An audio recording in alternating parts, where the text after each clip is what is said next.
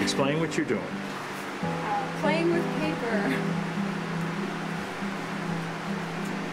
What's the orange thing?